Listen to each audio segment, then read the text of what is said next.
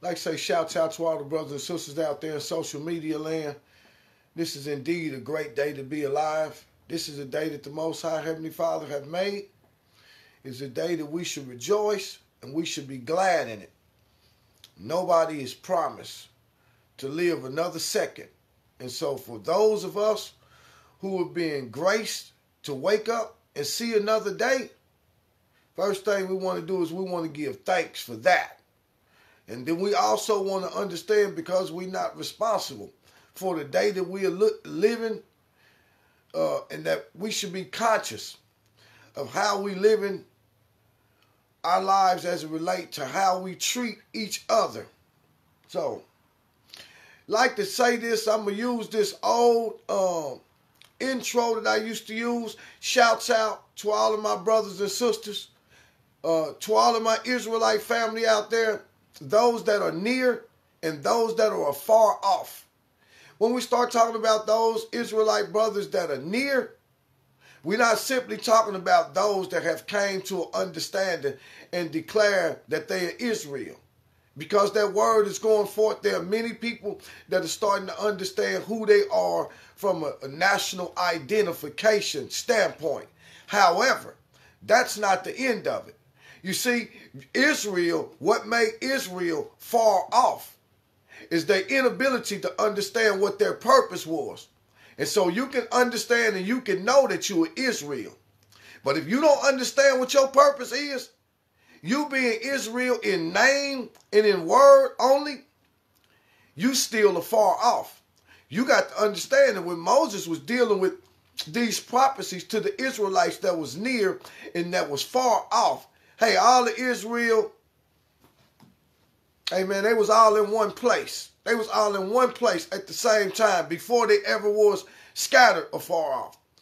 But you can be Israel and still be afar off because you don't understand what your purpose is.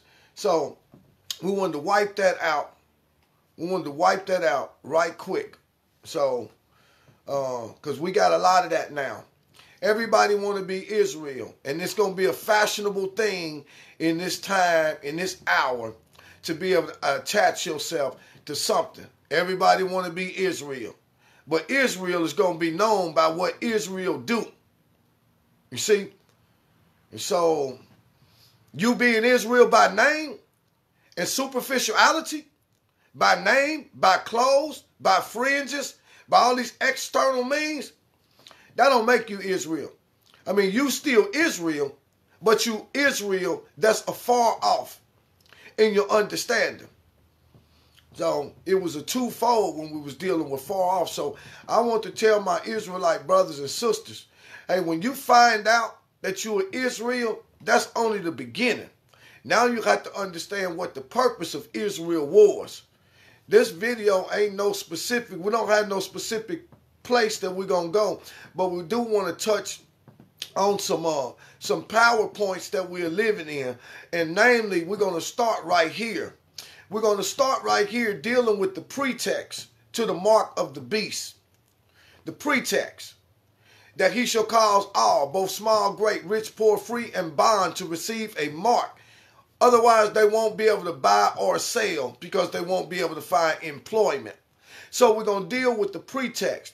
We know that this uh, DVOC situation, this COVID-19 situation, we know that that's not the mark of the beast. But in order to find out uh, when any system is going to be effective, it first have to be tried. It have to be tested. And once it's tested, then you know which areas it need to be tweaked in. And this is what we're dealing with here. So this whole particular thing have all been about compliance. We can go back to 2019. Before it changed into 2020, we can go back to 2019 when they first came up with the virus out in China. We can go back to those videos and where we said, okay, this is what they're going to do. They're going to bring 20 people here. Their excuse for bringing the people from China or wherever else they are is going to be this. They're Americans. Bring the Americans home. That was going to be their excuse. it happened just like the Spirit showed it to us. They brought the 20. We said now, outside of a week, they said the next week it was going to be 75 people got the virus. Two of them then died. A week after that, 150 got the virus. Five of them then died.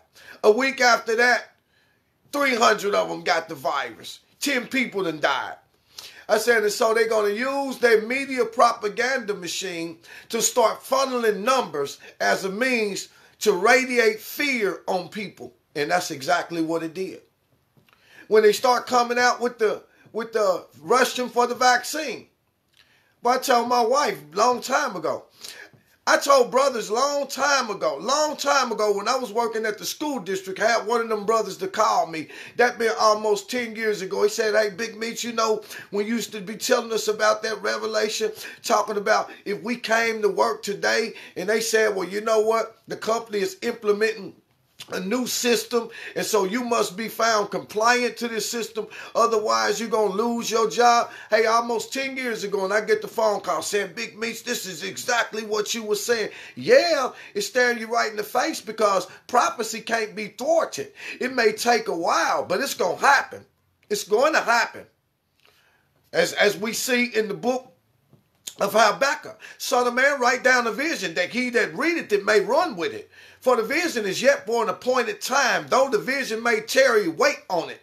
For in the end it shall speak and lie not. To everything that God has that been written by, by the visionaries, which were the prophets, though these things may tarry, though they may take a little while, we are to wait for them because they are surely going to materialize themselves. And they have materialized themselves even unto now. And we're just doing some brief caps over some of the videos that we have done over the years to bring people up to a certain place. And I told him, I said, listen, they're going to put mandatory vaccinations on everybody. You're going to go into work one day and you're going to find out that your job is telling you that you need to be compliant. Otherwise, you're going to lose your job. When my wife came home with that letter, she didn't have to be excited. There were many other people that didn't have to be excited. Now I just got off the phone with a brother, uh, and uh, I talked to a brother and sister, and I know he don't mind me mentioning his name. His name is Jim Rod. He's been one of my young kings I met when we was on a mission down in in Florida, down in Jacksonville, and I met him down there, and uh, and I had a phone call with him uh, on the other day. He and his wife called me, and and was telling me that his wife had received notice of mandatory vaccination. Otherwise, her job was going to be threatened. And so I told them both, uh, you know, that, that they could do what they're going to do. And even before you fought for a religious exemption, prepare yourself to lose a job. Understand that this earth, the world, the earth, the, the earth is the Lord's, the fullness thereof. The whole world and everything that is in it belongs to the Most High and God owns the cattle on a thousand hills. All the silver and gold is his. Everything in this world belongs to him. How be it that somebody might be shaken and gripped with fear because they may lose their job. So, so the first thing that you got to come to grips with is to understand is that ain't no job in control of your destiny. And many people, they can hear the videos, but then they don't hear. You know what I'm saying? So that was the first uh, line of instruction is to put people's focus in the right place. You put your focus on, on God, not on man, on what men gonna do. And then the second thing we did is we showed her what she was gonna say with her religious exemption. And this applies to anybody. You want to file for the religious exemption, it don't take all that extra stuff. You don't have to know no Bible. You don't have to have no pastor speaking. You you don't have to have none of that. Only thing you need to know is that this earth belongs to God and God created men and he created them with a free will and a right to make a choice. And anything that comes against that is against my religious belief. I believe that God give every man that have breath in his body a right to a choice, a right to be able to make a choice. And no man, no government, no body of men has the authority to take a man's right away that God gives him. So if you're in this situation, there's your religious exemption right there. Now, we showed the young king and his wife how people are being controlled by fear to make decisions. And what it really comes down to is it come down to the same thing that Satan offered the Messiah. Satan offered the Messiah something. And he's offering the same thing to people. I don't know if I got that book over there. Let me see if I got it over there.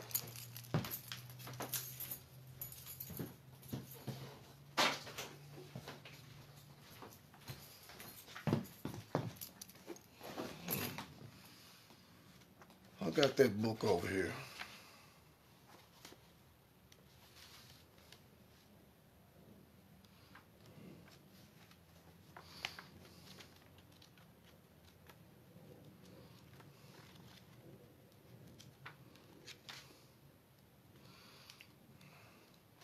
Now, the thing that Satan offered, that he's still offering right now, is it says that when the Messiah went up into the wilderness to be tempted by Satan, the final thing that Satan offered him was the kavod or the riches of this world.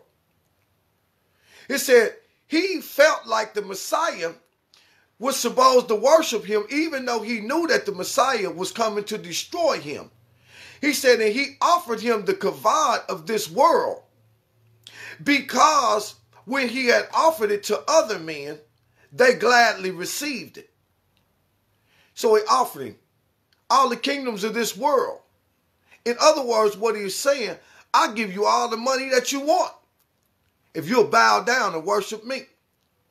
You see, ain't no new tricks, ain't no new schemes, brothers and sisters. You better hear and you better pay attention. Ain't no new schemes, ain't no new tricks. You're still being offered the same thing.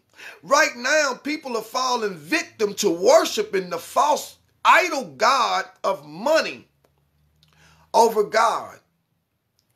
Because when they say, hey, you either do this or you ain't got no job. Oh, what am I going to do? How am I going to take care of my, how am I going to do this? How am I going to do that? You see, you put your trust in a false God. You easily forget about the fact that God, the one that gave you your breath, and while you worried about your money, what if you choose the money and then God take your breath away? Where is that going to leave you at? There are many brothers and sisters that have already fallen as victims to these things. When you hear these videos and you know that it's dealing with the word, pertaining to the word, and you feel the spirit of conviction, it don't mean that your fate is sealed. It means that God's grace and mercy and his love and compassion for his people is giving you another opportunity to repent and be able to acknowledge the fact I chose God. I chose money over you. See, people don't really want to look at it like that. They don't want to look at it like they choosing money over God. You see? But if God don't give you breath, you wouldn't have no money. So why would your decision making be based on money who men control in this world? The monetary systems in this world was created as a means to bring people to a false worship of a false God.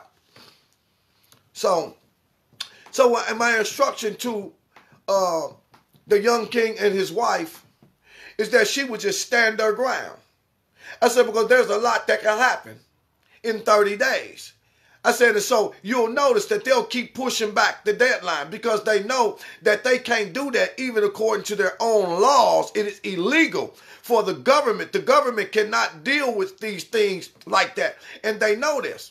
I said, so they'll keep pushing the date back and their media machine will keep promoting the same propaganda and the same fear, causing people to comply to these different things. But at the end of the day, they know it's going to end up in failure. So why not just sit back and wait? Just sit back and wait. And don't comply. It's not going to last. You see? I said, and should it happen to where you do lose your job, you are already readjusted your mindset that the Most High going to take care of you. He might not have wanted you on that job. So he caused this thing to blow in so that you can lose it. So that he can show you that he can take care of you. You see? Now here's the other thing. I told my wife, I said, you know what? There's no way. I said lawsuits gonna start rolling in out of so many different places. My wife sit right next to me. And she'll tell anybody, hey, I'm not elder. I don't know what he know. Hey, I don't know the Bible like he know. I don't know. But the things that she see, they are confirmed by the things that she hear. And that's the same thing. If you hear something first and then you see it later, what do you put your trust in? Do you put your trust in what you saw that came after what you heard? Or do you put your put your stock now in the things that you don't heard? Hey, sweetie. Oh yeah, I was gonna send you that thing because I just got off the phone and um I just explained to the brothers and sisters how step by step we done dealt with this mandatory thing. And I told you I talked to Jim Rod and his wife the other day about that, the religious exemption stuff. Well, and I tell them the same thing. I tell you, just hold on because a lot can happen in 30 days. And they, yeah, and they keep pushing it back, right? Yeah, they push. All right, now let me show you what happened. Jim Rod just sent me a thing now dealing with OSHA. OSHA have now recanted and they're refusing to push those mandates with 100 employees. I told you that's who pushed it back at the Internal Revenue Yeah, was OSHA. Yeah, see, no, see, my only thing is, is what I'm saying is that you heard it before you seen it, right? Yeah. You see, you see, the God's Spirit go before us, and He make us see things that haven't happened yet, and then when they happen, they become a confirmation of our faith that the Spirit done these things. That's right. So to the brothers and sisters, all these people that been afraid, my wife been got work. She worked for the federal government. You see, if anybody was gonna be afraid, she could have been afraid. But how she gonna be afraid that she lived with me? I've been telling her this whole stuff since the whole thing rolled out. You know what I mean? And every step of the way, and when she come back telling me what she heard, it I mean what she seen, it does it is not greater than what she heard, because what she seen is what she heard already. Dang, babe, you said it was gonna happen like this. Dang, babe, I tell you every time, boy, you got me not even wanting to watch TV no more because now I'm seeing all this crazy stuff that you be seeing. That's just how it go. So we want brothers and sisters to understand, hey, listen, in this hour, wheat is being separated from the chair. This is the time that the angel uh, have thrown in his sickle to reap the harvest. And if brothers and sisters can't stand firm with these little small, mediocre, minute tests, then they're going to fall as victims for the ultimate failure, which is to come in the future. So, so we wanted to talk about that. And anybody that have fallen victim to these things and they still pushing boosters and mandatory this and mandatory, they have already locked Australia down. They have put a lockdown on all of the people that have not complied. They can't go out the house unless they going to the store or unless they going to school or unless they going to work. And we know that they can't go to work if they ain't complied. So they can't even go in a restaurant, they can't go in a bar, they can't go in a movie theater. They are literally to be confined in their own homes. And what's happening is us in Australia will surely be coming to the United States because everything that has happened has happened in different other parts of the world before it got here. But it's all going to end in failure. And so the only thing that they're going to do is all of the people that's tapped into their media propaganda machines, MSNBC, ABC News, CNN, you can't even really include Fox News in there unless you want to see uh, the opposition.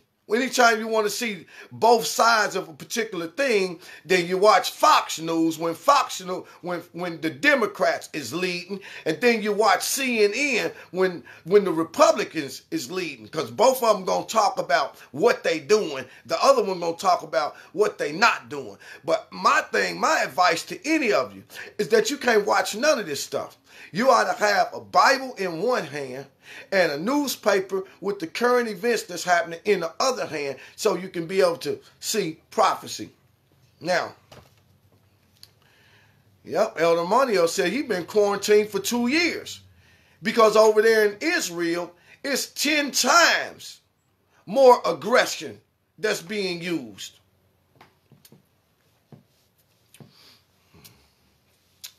So, so we're letting you know what your religious exemption is. You, whether you know the Bible, whether you function, whether you're in church, whether you're part of any organization, here is your religious exemption for any job. And it's not going to work no way. Your religious exemption is this, is that God gives every man and woman a right to free will. And that free will cannot be taken away by no man, no governmental authority, or no body of men. And that's the only thing you need.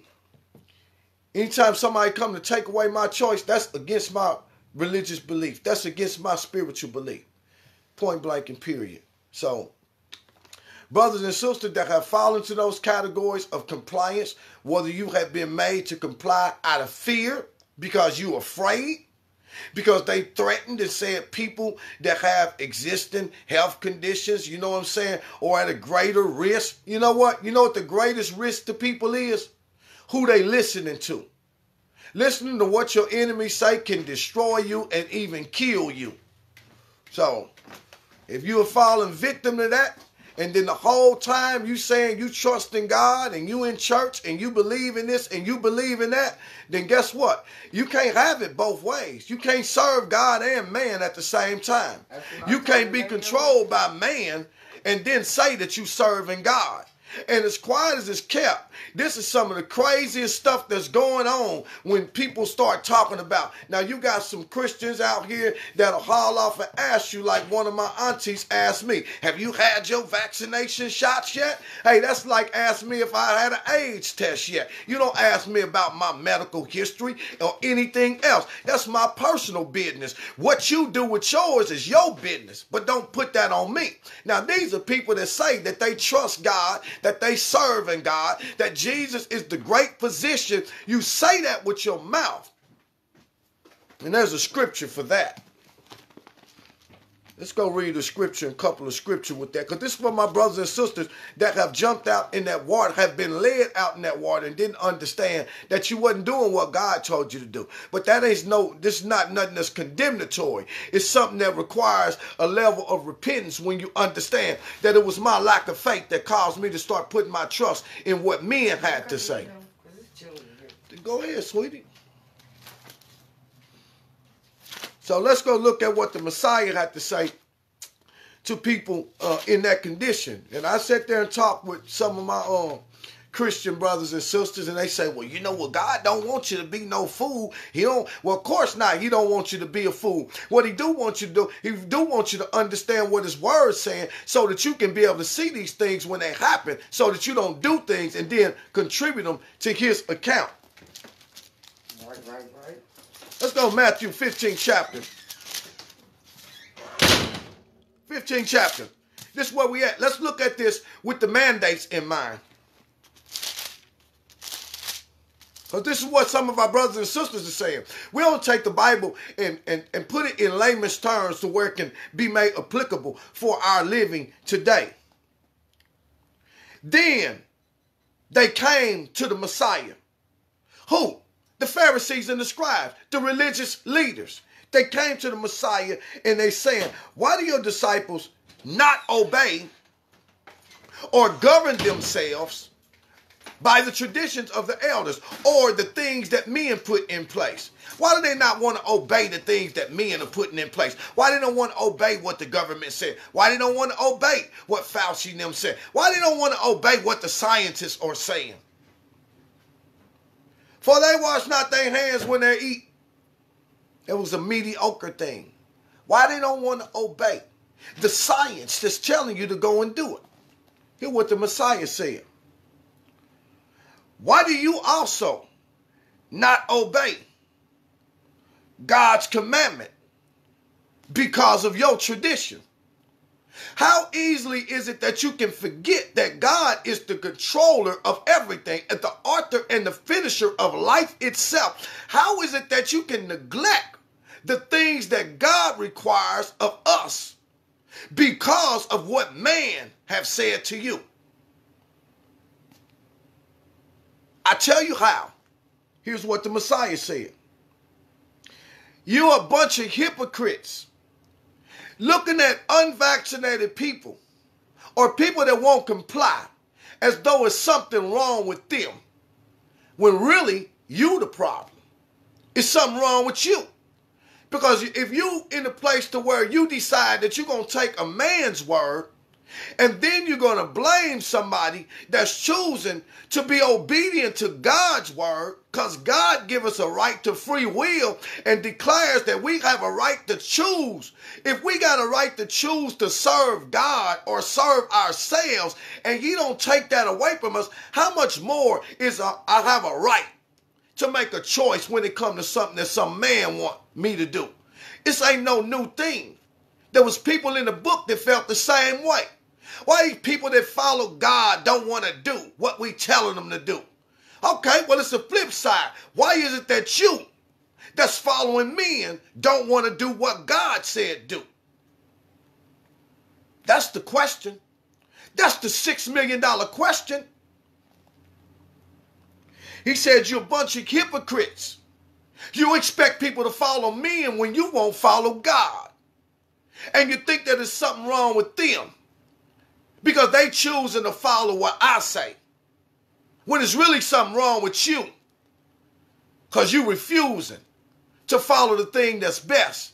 He said, you hypocrites, this people, he said, well did Esaias prophesy of you, saying, this people draw near me with their mouth, but their heart is far from me. You see, it's going to take more than lip service.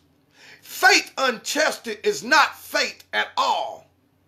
And when God allows circumstances to come into your life, it gives you an opportunity to have your faith enhanced by standing and trusting Him.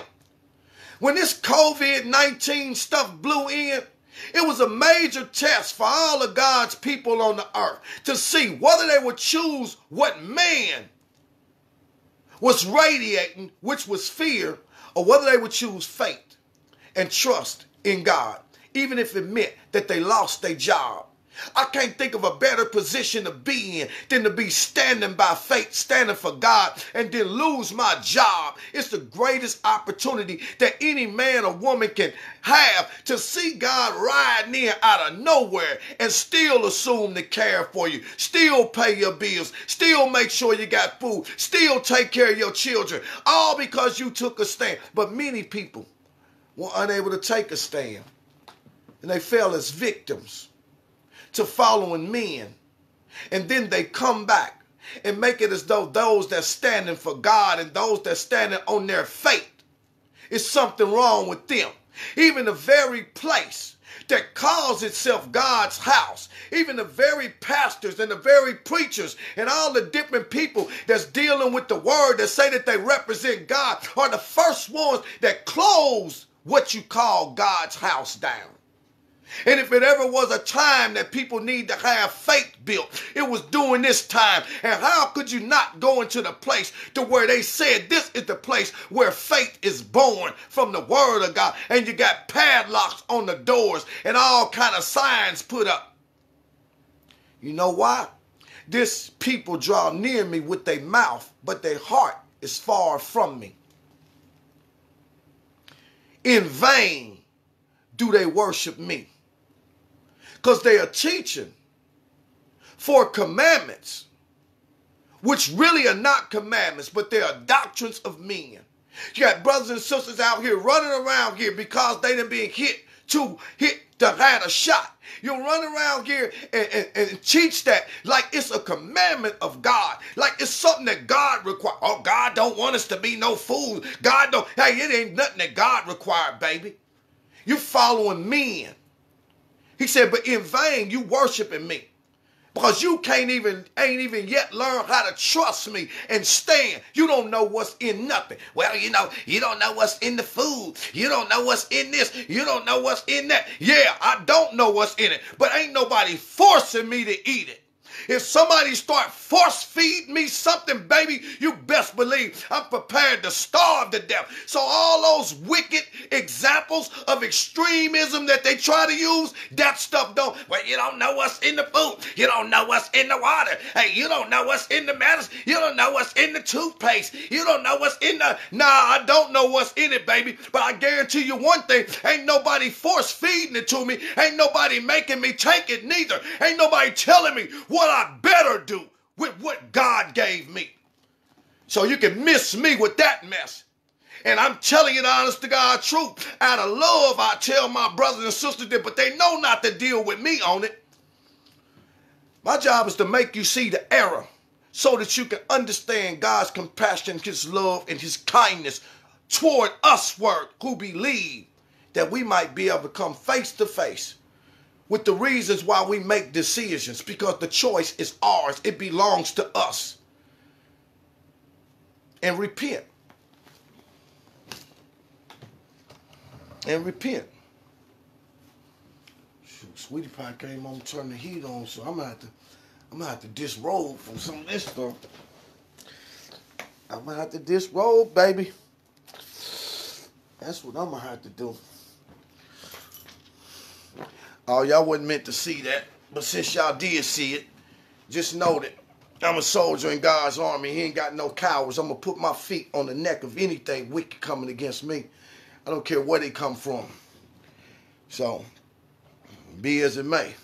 Now, we dealt with that. So, any brothers and sisters that fall into that category, just go and just humbly say, Father, you know, I know that the earth is yours. I know the world is yours. I know all of these things. I know you give men the ability to learn and seek out new things. I know all that. But I made a choice. And it didn't have anything to do with you. I made a choice out of fear of losing my job. I didn't know what I was going to do. I made a choice because uh, I've had some health issues and I've done these things. And if by chance I done them for the wrong reason, I ask that you forgive me and that you'll increase my faith and that you'll help me to stand. It's just that simple. It's just that simple. So, now the next thing that we're going to deal with we're going to be moving into something that's different because you understand like we start off dealing with israel we understand what jacob's trouble is what the end time going to be and all these things that's being produced that's coming by way of prophecy. So what we're going to do now there are many people that still yet without this particular understanding they're not fully aware of the different things that's transpiring in this world. So we're going to deal and give you this word write it down so you don't forget it. If you have not been exposed to it write it down don't forget it. Then you go when when you get some time and then you find out everything that you can find out about this particular thing. It is one of the things that's causing uh, anybody in the political arena. It's one of the things that's causing. You notice that the Democrats been losing their places when they go out to vote. They voting. And they putting Republicans in them places. These same people that voted Democrat and put Joe Biden, now they shifting. And you know what's the reason why they doing it? It's all about the future. Can't no man thwart the future. You see, God controls the future. He's omniscient. He possesses all information, past, present, and future. So write this word down. Go find out what it means. Critical race theory. And critical race theory, what critical race theory is, is critical race theory is going above and beyond teaching. 1619, Jamestown, Virginia. It's going above and beyond teaching the first black slave this, the first black slave that, the first black slave this. It's going be uh, above and beyond that to bring truth to the next generations of children that's coming up in the public public education system. What critical race theory is is critical race theory is now dealing with the teaching of students, not only the things that the European brothers, our white brothers and sisters have done to the 100 million Indians that they infected with smallpox and wiped them out and stole all of their land. It's dealing with the truth of how many treaties that they made with the Native American Indians and how many treaties that they have broken with them to take and occupy their land. Even until this day, they are still doing the same thing to the Native American. It is also dealing with the people that were stole from their land, aka Negroes that came into Jamestown, Virginia in 1619. And it is dealing with how these particular people had been enslaved and oppressed throughout their whole life and even upon being released from slavery their critical race theory is showing you how the racism was knitted and woven into the fabric of the society and into the fabric of the laws that have been established whereby the negroes aka slave aka israelite on the run will never have any type of justice or free rights in this particular. That's what critical race theory is. Critical race theory is dealing with the teaching of the truth and the history of the Americas in its totality and in its fullness. And so our European brothers are in an uproar and they're crying. We don't want no racism taught in our school. We don't want this. We don't. We don't want our kids to be feeling bad, and we don't want our, our kids to be going through. Well, baby, your kids are going through it if don't nobody teach it. They're going through it regardless.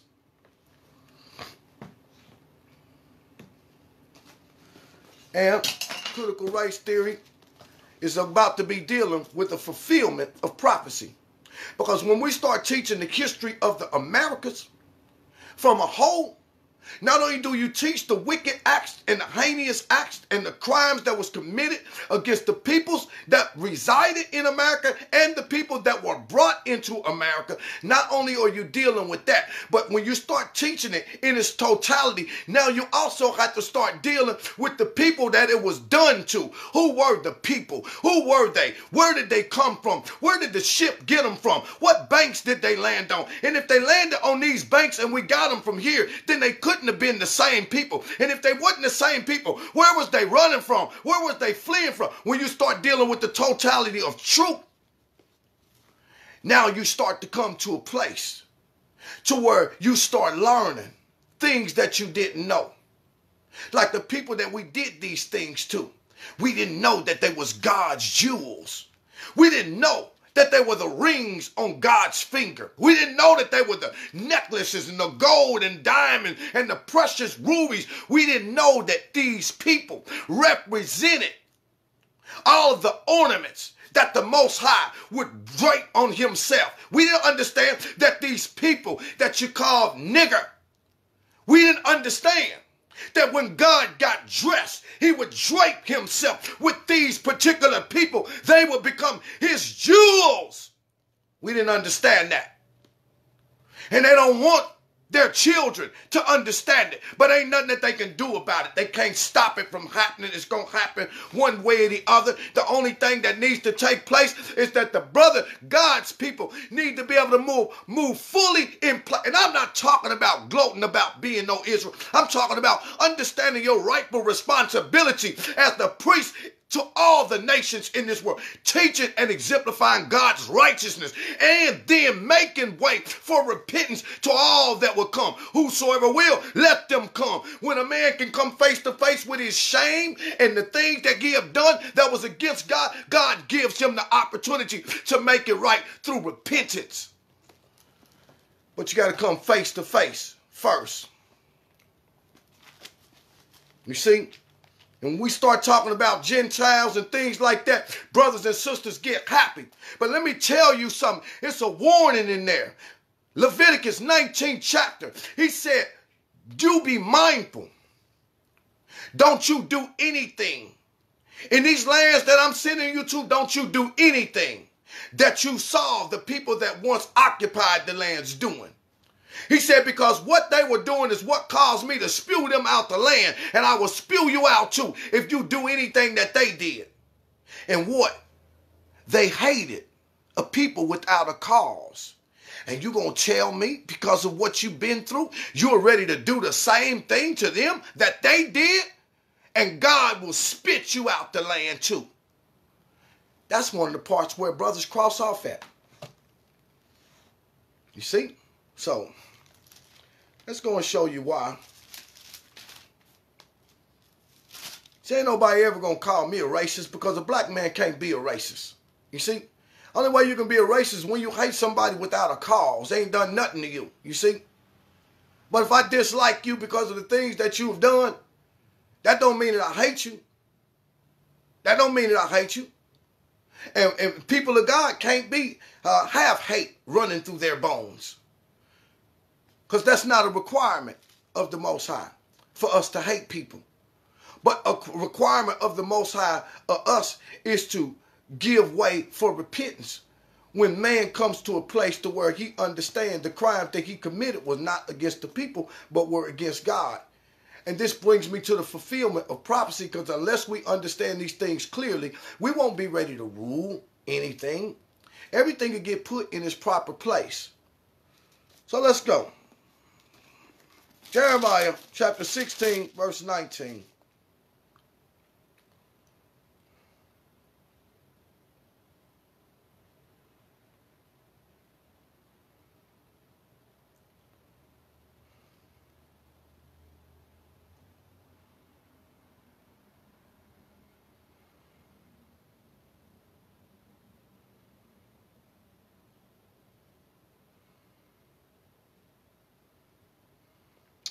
O Lord, my strength, my fortress, and my refuge in the day of affliction. This day of affliction is twofold. See, God has been our strength, our fortress, and our refuge in our time of affliction. We will is what the world would know as the most resilient people on the planet because of the affliction that we have been through. Yet through all of our affliction, we continue to rise. This is what people are afraid of. You see, you got to be able to check because somebody during their affliction is going to come to this place. So how is it that these people can be the went through everything that they done went through? And here, I've lost my job. I've lost my money and I'm ready to commit suicide. What is it that separates me from them? What is it that they have that I don't have? See, these are the things that are going to be learned. The Most High have been our fortress and our strength and our refuge during the time that we were afflicted. But the affliction is twofold because also during the time of the affliction, the Gentiles shall come unto thee from the ends of the earth, and shall say, Surely our fathers have inherited lies and vanity and things wherein there is no profits. Shall a man make gods unto himself, and they are no gods? Therefore, behold, I will this once cause them to know. I will cause them to know my hand and my might, and they shall know that my name is the Lord. How is he going to cause our white brothers to know his name ain't Jesus? How is he going to cause our white brothers to know that the Christian church was falsehood and idolatry?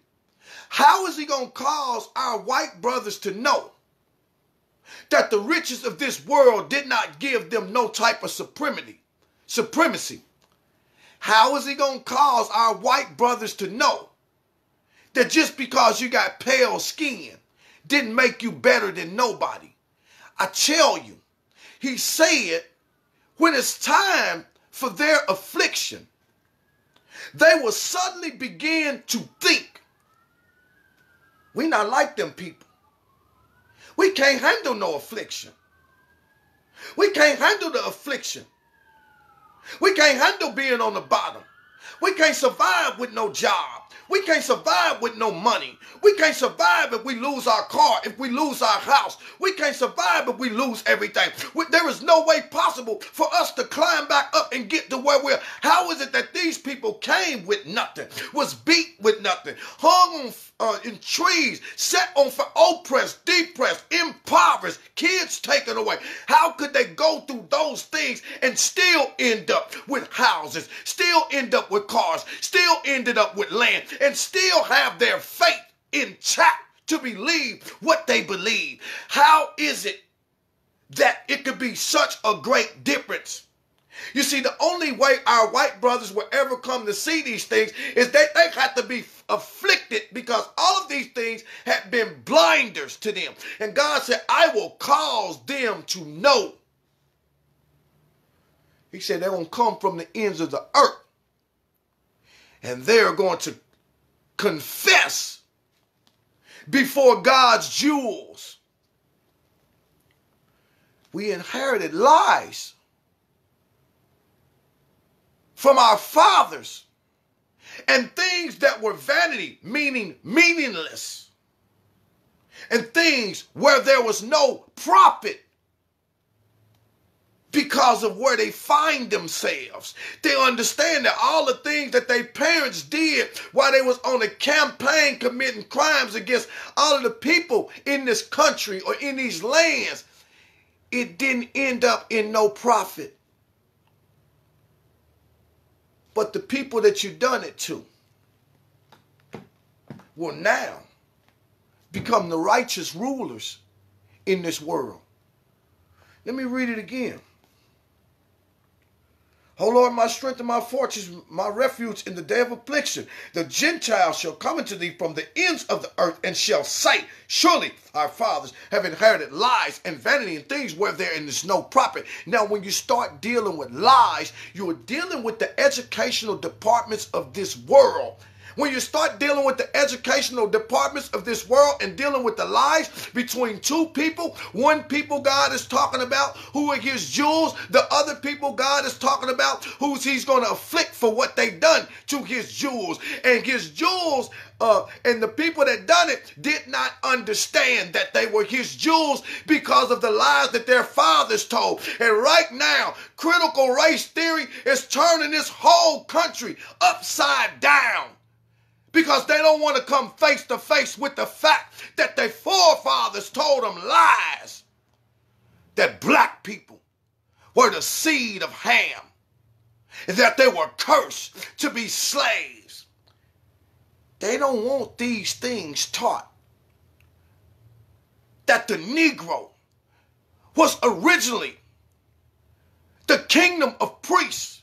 They don't want these things taught that through every religious construct that's in this world would come at the hands of the Israelites and be made into an act of rebellion to produce a false religion that would absorb people into. They don't want to identify with the fact that God told Moses, Moses, go down there and speak to the children of Israel and tell them if they will hearken unto my voice and obey, obey, obey my voice indeed, then they shall be unto me a kingdom of priests and a peculiar treasure, for all the earth is mine. You say you believe in all the prophets, brother, my Islamic brothers. You say you believe in all the prophets from Abraham, from Adam, all the way down, and you see Moses God talking to Moses about who would be the rightful instructor. You can go and look in your book of Surah, second Surah, even in the Holy Quran, it'll tell you of all the people on the earth. We sought out that the children of Israel would be our instructors. During the time of the Gentiles' affliction, they shall come and declare who they gonna declare to? You think they gonna go and declare to their parents? Oh, you telling me a lie. No, they gonna declare that to the people that the lie was on. Surely we have inherited lies. Things wherein there's no profit and vanity. You start dealing with critical race theory, you're dealing with the teaching of history from a total, uh, a, a total standpoint. not just a bit and sprinkle. Keep teaching the kids about World War II. Where's a murders campaign? World War One, murders campaign. Vietnam War, murderous campaign. Oh, Iraq, murderous campaign. Syria, murderous campaign. Slavery, murders. See, all these things that they teaching is, is one that, that causes them to have this great feeling of pride about being white. But God said, when I start afflicting them, they're going to start having second thoughts because they're going to wish that they were brown. I, I know that sounds difficult. And this ain't no message because, as we said before, we don't deal with racism. We deal with hardcore truth. And this is the hardcore truth that the European brothers and sisters are raising up against all over the country. They don't want to face it. They can't say that it's a lie because they know all these things happen and all these things are fact, but you don't want them taught to your next generation of children. You'd rather keep putting lies on top of lies on top of lies. But God said, I'm going to stop the lies. I'm going to put affliction in the place of the lies. And when I put that affliction on you, the truth going to come rushing in like a flood and they're going to fall down before the feet of God's jewels and declare, Surely we have inherited lies from our forefathers and vanity and things where there's no profit. Surely we didn't know that you was God's jewels. Surely we didn't know that you was the, the one that was supposed to teach us. Surely we didn't know. We never seen righteousness because you never been in place. But we didn't know that. Had we known it, we might have did something different. But surely we have had inherited lies. We inherited the lies that we was better than you. We inherited the lies. We inherited the lies. God said it's coming down. And the scripture right here is making itself manifest right now before the world that we are living in.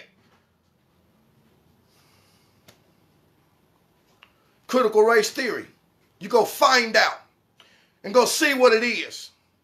It's your educational departments of the world that are responsible for the lies that have been funneled in. They're also responsible for the destruction that is coming into the world. Let's go read another one. Show you this. And you brothers and sisters are always talking that stuff. Well, my kids ain't gonna be able to go. Well, if you don't understand that the public educational system is a weapon that have always been used against our people.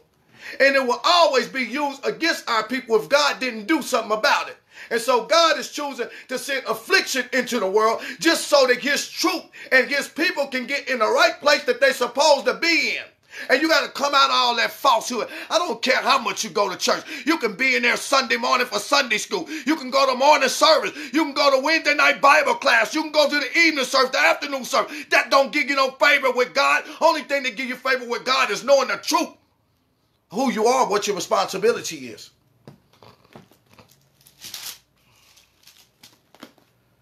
Keep not thy silence, O God. Hold not thy peace. Be not still. Psalms 83rd chapter. For lo, thy enemies make atonement. For lo, thy enemies make a for lo, thy enemies make an agreement.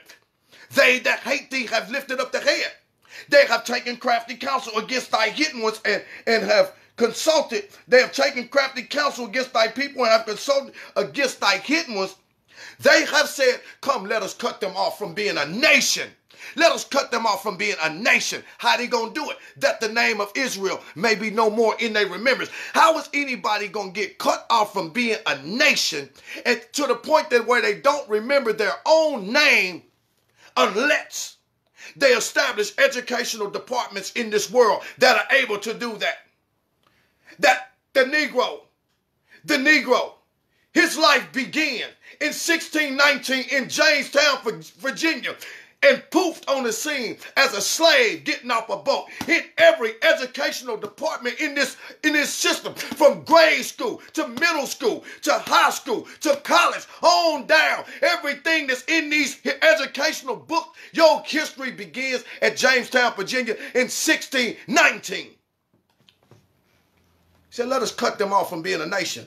That they don't even remember that their name is Israel anymore. You know what they saying? We got to build educational departments and we got to put lies on top of lies on top of lies to not only where they don't remember their name, but we got to make sure that none of our children ever know that their name is Israel anyway. If our children ever find out that their name is Israel, then they're going to understand that we lied to them. Oh, ain't that what the scripture said? They shall declare it. Ain't nothing that can be done about it. It's God's will materializing right before our very eyes. You see? And you sending your kids off to school. And you think they're going to get a good education? You're a fool. You're a fool. The only education your kids going to get is going to come from you. And you need to be the first one teaching your kids critical race theory. Not so that they can be feeling bad when somebody call them a nigger.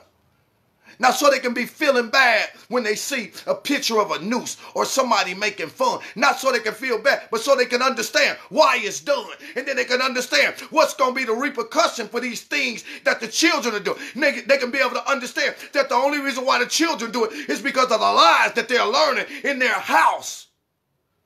We gotta teach our kids the right thing. We to teach our kids the right thing. How they come home wounded because somebody called them out there. No, they need to understand why they called you out of your name. Why they called you out of your name. Who you are. They don't know no better.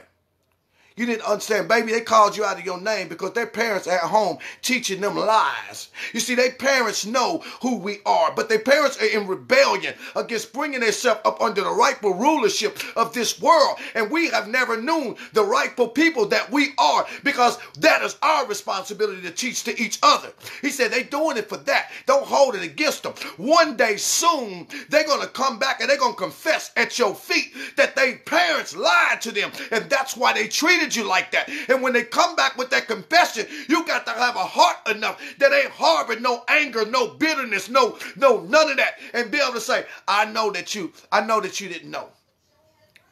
I know that your parents taught you lies. Now that you know, you repent. So, so it's what it is. It's what it is critical race theory is a bad thing. But I ain't just dealing with the white people. Dealing with the black people too. You see? Because everybody got to see themselves for who they really are. And everybody got to see themselves for the responsibility. Our we went into captivity and slavery and suffered all these things because of what our forefathers did. Our forefathers went into rebellion against the Most High God. And that's how we got into this foolishness. But see, their affliction is going to come by way of the same foolishness that was committed by their forefathers. It's going to be a shift. It's going to be a shift. The only problem is, is that where your mind going to be when the shift take place? Because when all their companies are destroyed, who you going to work for? How important is their job going to be when the job don't no longer exist?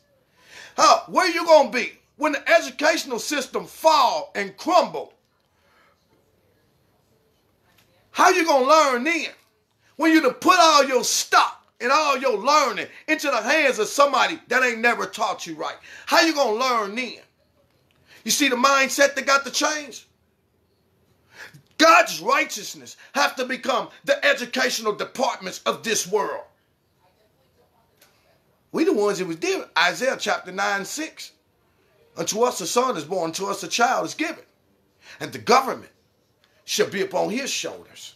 You're talking about righteous rulership. You ain't talking about no righteous rulership like our brothers be talking about. Holding on to some Torah who's completely wiped out, that never did nothing righteous for nobody. They ain't talking about that. It ain't talking about that. Because the laws in Torah are pretty common sense that your forefathers never lived up to anyway. It said the government would be on his shoulders. Talking about spiritual righteousness. The righteousness that's born in the heart of a man to where he just knows what's good and what ain't because he had the spirit guiding him. Not no words. Where you gonna be at? Where your mindset gonna be at? When you still begging for crumbs, where you gonna be at? When the governmental systems crumble and you ain't getting no food stamps no more, you ain't getting no welfare check no more. Where you gonna be at, sister, when the governmental institutions crumble and you find out that ain't no child support a payment coming because ain't nobody got no job to take nothing from. Where you gonna be? Where your mindset gonna be at? Negro queen, black woman, Negro male. Where your mindset gonna be at? You prepared to govern and rule, starting with your own house? How you gonna tell me that you can be a governor of society? You ain't even learned how to govern yourself as it relate to each other. Where you gonna be at? When all these things, all these illusions that pit us against each other are suddenly destroyed, where you gonna be at in your mind? I tell you where you're gonna be at. Either you're gonna be to line yourself up with the mighty man of valor that declared he was on the Lord's side, or you're gonna perish with the enemies that you put so much dependency on. Shoot. See, it's so much. But God doing what he said he was going to do. What we going to be at? What we going to be at, brother, sister? Laying at the gate of the temple called Beautiful, shaking a rusty, raggedy cup, looking for a handout, a vagabond in the kingdom. Where you going to be at? In your mindset. Where you going to be at in your thinking? When your children ain't got no school to go to? What can you teach them about who they are, their regality, their royalty, what people they are, what their background is, what their culture is? Why is it that the whole world follows their dancing ability, their gifted ability? Why is it that can't no company survive without them? Why is it that these people that were classified as nothing or worthless, why is it that the whole world is dependent upon them? What you gonna teach them? When your enemies ain't no longer teaching. They can't stop critical race theory. Because critical race theory is dealing with the truth about the races, not racist, about the races, plural. Just like the Bible it's critical race theory. This is the generation of the sons of Adam. This is the generation of the sons of Noah. This is the generation of Yeshua HaMashiach, who told the disciples, now go into all the world and make disciples out of all men, teaching them to observe whatever things I have taught you. This is critical race theory in your Bible, dealing with the Amalekites, the Hamites, the Hittites, the Hivites, dealing with the sons of Edom, dealing with the Ashkenazi, the sons of Gomer, the sons of Japheth. This is critical race theory that uses the Bible as a means to bring truth to its totality. That's what they don't want. Nobody wants to hear the truth in its totality. Our Christian brothers don't want to hear the truth in its totality, that there will never be a Christian if it wasn't for the Israelite. Nobody wants to hear the truth in its totality. That Ishmael and Isaac was brothers, but God chose Isaac to funnel his righteousness into the earth and then make everybody else subjected to his children. Nobody wants to deal with the totality of truth. Just a bit and a piece over here. Critical race theory. It's dealing with races, dealing with the nations.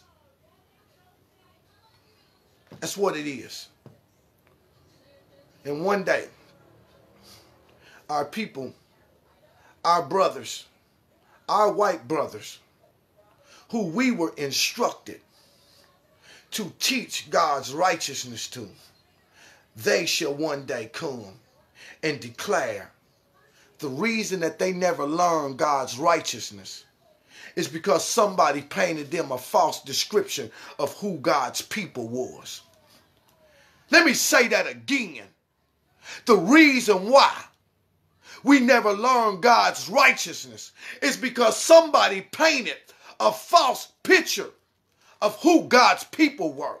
First Maccabees, third chapter, verse 48. And they laid open the books of the law, wherein the heathen had sought to paint the likeness of their image. He said, and we grew up thinking that God's people were people over there that looked like us. They lied to us about who God's people really were. You see, you ain't the only one that was lied to.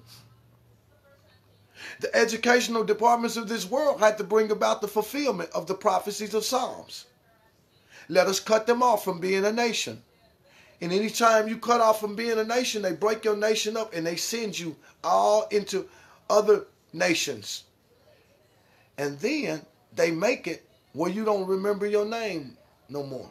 First thing that happened when I asked people these simplistic things, I said, "What's the first thing that happened when they when they bought the slaves into the Americas? What's the first thing that they did to them? They changed their name. They changed their names. They beat their names out of them. And then they separated the old from the young, that the old could not teach the young. Their enemies would become the next generation's teachers. And they would teach them in ways to where they would have no idea that the Negro name ain't Negro.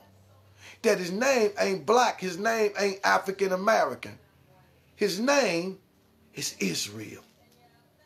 You see?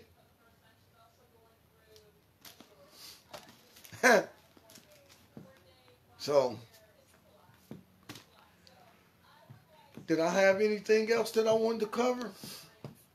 So that's an assignment for all the brothers and sisters. And then I want brothers and sisters, as we started off with the COVID vaccine thing, to take courage that OSHA has recanted. They are not going to. They didn't have no choice but to recant. Because see, if the if the government and the courts block it, then guess what? OSHA can't go no farther. Because they got to go by whatever the courts say. But OSHA have declared for jobs that have over 100 employees that they can no longer mandate vaccine, vaccines on their people. But guess what? You're dealing with some wicked people. Just because they know that that's the truth, that don't mean that their media machine is going to stop it. Their media machine going to continue to push it out there, continue to do it. As long as our people don't comply. So, Peace and blessings be upon all of you. Uh, I just want to say this is indeed a great day to be alive. We don't get no guarantee on tomorrow. I put that post on there yesterday. This is indeed. And then I said, you finish the rest. I wasn't mad about nothing that I heard. And so this is indeed this is the day that the Most High have made. We're going to rejoice and be glad in it. Most people got the latter part.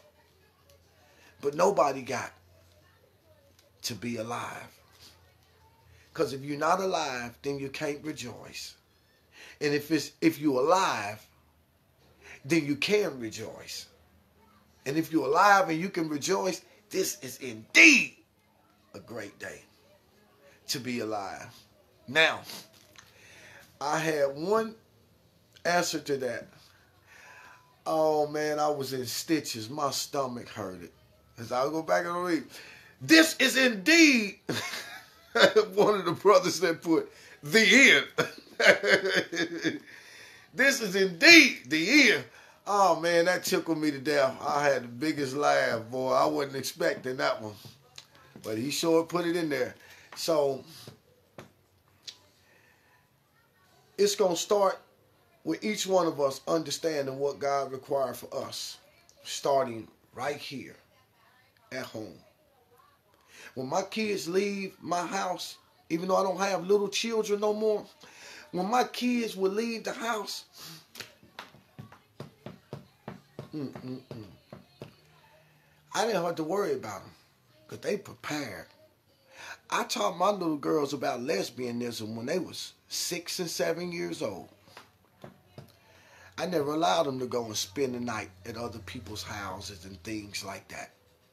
I taught them. I taught my sons, my son about lust and, and all that cable TV and all of these things. His mom, I, I did all of that. That's my responsibility. My responsibility. Let me tell you the truth. When these teachers who have been given the responsibility to lie to your children, when they see the understanding and the uh, the level of understanding that your child have because they are learning truth, they know not to even deal with them children because they know what's coming out of the parent. They know not to deal with them, period. That's our responsibility. We must teach our children what they call critical race theory. But critical race theory has nothing to do with racism. It has everything to do with the truth. And if me telling the truth offends you, or you feel like that's a bad thing that's happening to your children because they learning, I know how it is. Don't no kid want to be taught or learn that his parent was a murderer. That his parent hate people without a cause. That his parent was a thief. No kid wants to learn that. No kid. No parent wants to teach it to their kid.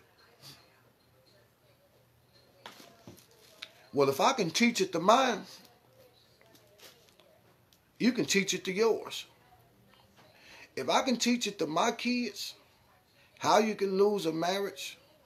Through being a cheater, if I can teach it to my kid, how you can lose your house and your car by being a drug addict, if I can teach it to my kid about how you can hurt and bring yourself to destruction by being drunk and out of your mind and acting belligerent, if I can teach it to my kid, how I done gotten positions to where I literally shot somebody before, if I can teach it to my kid, about the things that I have done that are against God, that were not right, if I can teach it to my kid, I'm teaching it to my kid so that they can have a greater comprehension and a greater level of understanding when it comes to the life that they live in and the choices that they making. And if I can teach it to my kid, you damn well better be able to teach it to yours.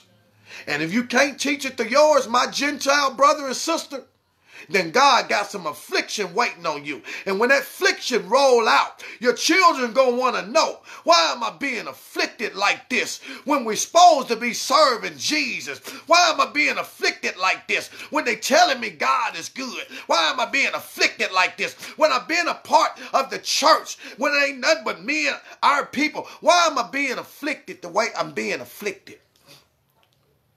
Something is wrong. You can't teach it to your children. Here's why we being afflicted. We did this, baby. Granddaddy and them did this. Great great granddaddy and them did this. And they did wickedly against God. And as a result, God putting us in this position because of what we have done to these people here. That's all critical race theory is. So, but we got to be the first ones to get on top of these things. Talking about you don't want critical race theory taught in your schools. You don't tell me that. I always wonder I done been quite a few places. I done been all over the world. Now, people really want to find you with a movie camera, they'll find you. If the local news really want to find you and have something to ask, they'll really find you. You let me get caught up in some crap like pedophilia and watch how fast it be a news reporter at my door. Her talking about, oh, he's an elder. He's representing the Hebrew Israelite community. Oh, he's been in a church. Oh, he's an ordained licensed minister with the state of Missouri. You let me get wrapped up in some foolishness like that and watch how fast a, a, a reporter's camera find me. I wonder why a reporter's camera can't find me now. Why the camera can't find me now? Because you know what I asked them? I say, you mean tell me you have a problem with teaching the totality of the truth of nations that have come into this country and our history? Oh, You got a problem. You classify me as a hate speech for calling a gay man a faggot. Well, why have not you stricken down every Hollywood movie that have ever used the terminology nigger in it? Why haven't you stricken down every book that ever used the word nigger in it? Why haven't you stricken down or put up under the jail every European person, every pale faced person that ever allowed the word nigger to come out of their mind? Why ain't they in jail? Why ain't they under the jail? Why ain't the movies off TV? Why are the slave movies still been, why the movies still been made where they can interject it and somebody can say, like in the hateful eight, well, they don't like to be called niggers anymore. Why ain't the movies off? Why ain't they took these movies off? When you get down the words, baby, you get down to words. This is the truth. I'd like to see, I dare one of these, I dare, I dare one of them. I wish a camera would come my way. Because I'm going to ask the question that we can't seem get none of our people on TV with enough sense, and they do that strategically. We got a lot of our own figurehead people out there talking about critical race theory is racism. Critical race theory is racism. Critical race theory is the truth that's dealing with the things that white people have done in this country, all the way from the fact of their inability to survive without the Native Americans, all the way down to their inability to be a great nation without the cotton fields and our people in there picking the cotton, all the way down to their factories, all the way down to everything, everything that they have ever experienced that was good have always came at the hands of the one that they gave no respect to. That's the truth. That ain't no racism. But if somebody decide to call me a racism, baby, you can come on and call me that. But it's what it is. I mean, in the video right there, but all of you got an assignment. Because he who don't assume the responsibility and care for his own house, you worse than an unbeliever. You need to throw your Bible out the window. Quit going to church. Go burn all of your suits up and all that stuff that make you seemingly look righteous. If you ain't got the time and the energy to invest in your own house, teaching your own children, you might as well go find the nearest cliff, fall off of it, and die. Fall off of it and die. Peace and blessings.